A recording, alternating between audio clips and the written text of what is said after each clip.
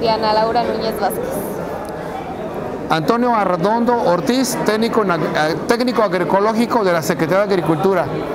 Felipe Díaz Olvera, vecino de Pateo. Dana Guadalupe Guzmán Martínez. Bueno, eh, me- si me permite el productor Felipe Díaz, yo quiero anticipar un gran trabajo que hemos tenido con él. Él ha dejado, yo creo que fácilmente un 95% de los agroquímicos y ahora está trabajando con puros, compostas, con bocachi, con harina de roca, con humos de lombriz, no solo, y bueno, obvia- obviamente con biofertilizantes, un sinnúmero de, de caldos minerales fríos y caldos calientes. Ahorita tenemos aquí un caldo que lo va a mostrar. Este es nuevo, se llama un caldo Super Viagra. Aquí tiene todo lo que le ayuda al cultivo, hecho por los campesinos. Y él, que mismo que el productor, diga su experiencia, cómo ha sido su proceso de cambio a la agroecología, que solamente en su parcela, no solo en su parcela, sino en sus huertos familiares que está buscando él, la autosuficiencia alimentaria para la familia, que es muy importante.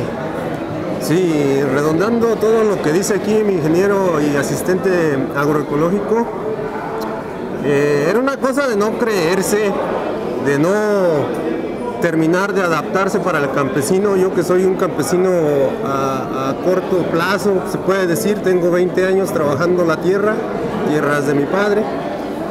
Y un buen día me llega aquí Toño y me dice, ¿sabes qué? Que deja todo lo que tienes ahí y vas a cambiarle, vas a ponerle esto a tus plantas.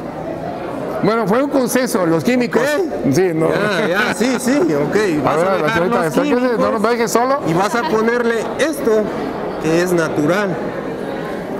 Oye, pero ¿cómo quieres que yo cambie lo, lo que me está dando por lo que tú dices?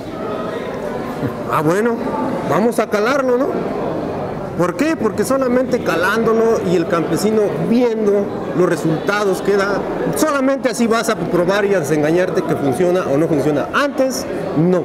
El campesino escucha por los ojos hasta no ver. no Ahí, cree. ahí es cuando cree. Entonces empezamos a hacer todo el proceso que requiere y que me lo mostró, que nos lo mostró a varias personas.